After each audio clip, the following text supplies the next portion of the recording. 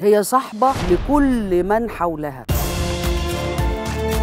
الواحد الناجح في شغله ده بيبقوا عايزين يعرفوا الأسباب. الغرور لو دخل قلبك هتنتهي. صباح الخير يا حلوين. اسكندرية كمان وكمان. عاملة كبيرة يعني. أستاذ يوسف كتبهولي. أنت اترزعتي كام قلم؟ ايديها صغنطوطه قوي بس بتلسوع عمود انت ما طلعتي ولا نزلتي خدامة. فاهمه يعني إيه خدامة. في رحلة آه، عادل إمام نيجي على الإنس والجن.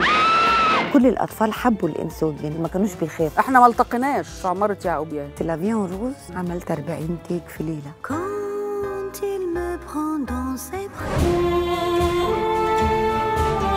طيور الظلام. الفيلم ده أنا بالنسبة لي من أعظم الأفلام. الخناقة اللي بينهم سيناريو حصل في حياتنا. أختي كده ينفع وكده ينفع. أنت عرفتي إمتى إن أنت اسمك يوسف؟ أنا ما كنتش أعرف خالص. كنتي صغيرة على المسؤولية اللي شلتيها في رأفت الهجان. كل واحد فينا عنده حتة وطنية كده مدفونة جواه. أول ما تلمعيها كده تبرق. الهجان عمل كده. أحيان كتيرة كنت بشعر إن رأفت مش إنسان عادي. الأفوكاتو. ده أول لقاء بيني وبين يوسف. أنا مش عايزك شيء. خد من وداني زي ما أنا خدتك من ودني.